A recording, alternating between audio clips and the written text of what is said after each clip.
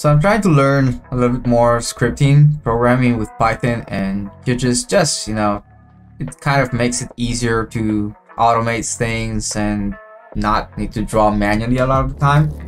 So I got this red line here, which I drew, yeah, it's from aviation, so you need to kind of calculate where things are going, but technically these arc here will depend on the speed of the aircraft and altitude, etc. So in this case, I drew the red line and I was wondering, could I make this with code? And I kind of made it work, but I'm not showing the code right now because it's kind of awful.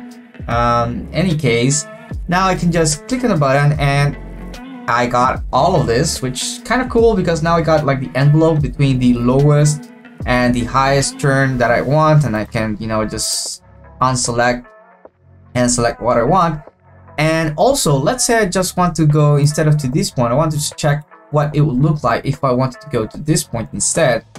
Then I can just, I'll turn this ones off and select this point again. And now I can just, you know, instead of drawing manually like six or eight of those, I can just click on a button and boom. Now it's got what will be the difference on the track between going this one and this one. So if you have not started thinking about automating your workflow, you should learn a little bit of scripting. It will take you a long way.